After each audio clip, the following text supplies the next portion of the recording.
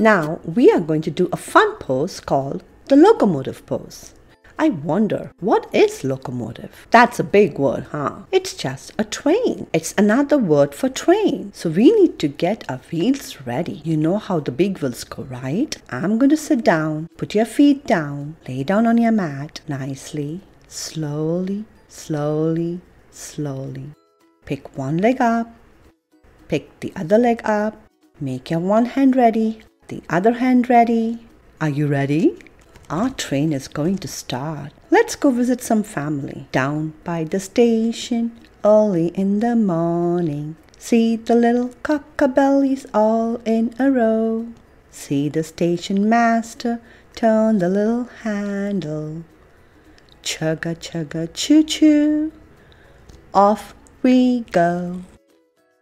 Do you think we can do it a little faster? Let's try, okay? One leg up, the other leg up, one hand up, the other hand up. Down by the station early in the morning, see the little cockabellies all in a row. See the station master turn the little handle.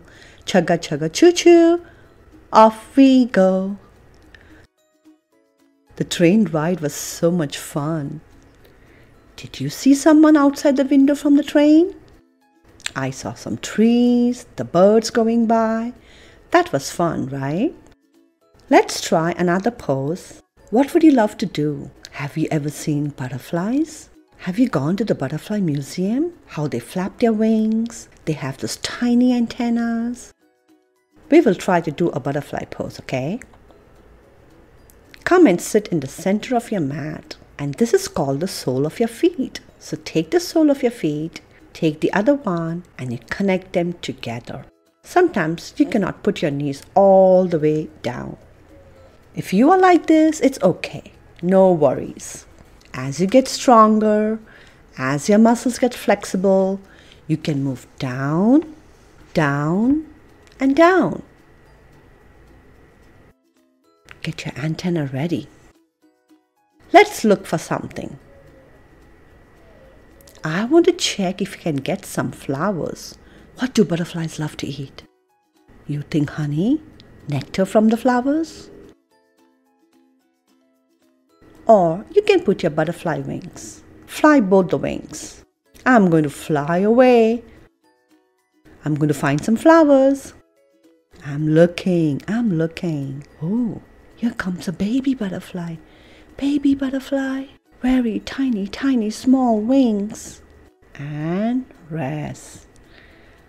That was fun to be a butterfly, right? Do you think you could be a volcano? Oh my goodness volcano here in Arizona. What comes out from the volcano?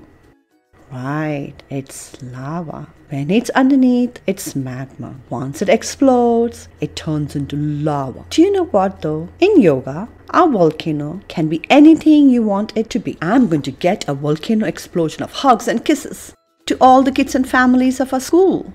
Are you ready? Okay, so you've got to stand up for that. So, very gently,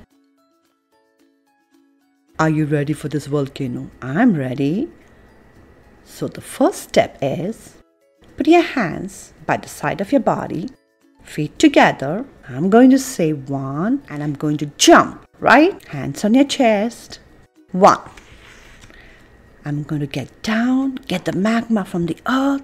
I'm picking it up, picking it up, picking it up. Oh, I'm going to explode. Whoosh and then we come back. Now I'm going to get hugs and kisses from the volcano. Are you ready? You can get whatever you want. It can be chocolate, candies, or milk.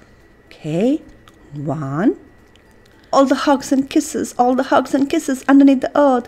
I'm shooting it to everyone. Whoosh!